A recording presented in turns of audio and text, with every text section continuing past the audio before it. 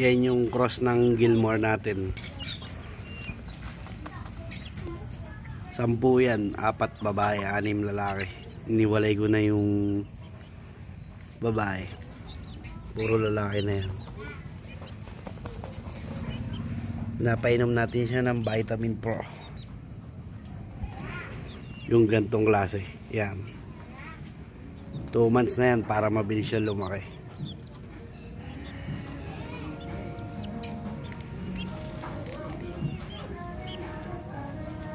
Pakakawala na natin siya kaya natin kinuna ng video.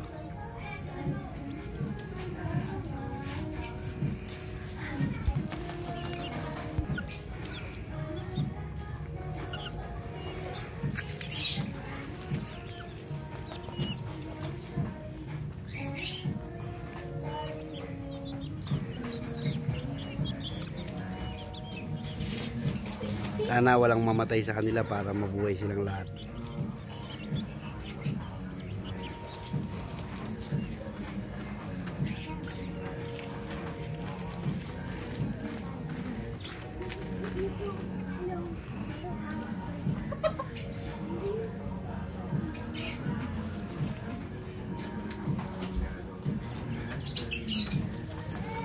Pupurgayin natin sila bago sa ating sa, sa pakawalan.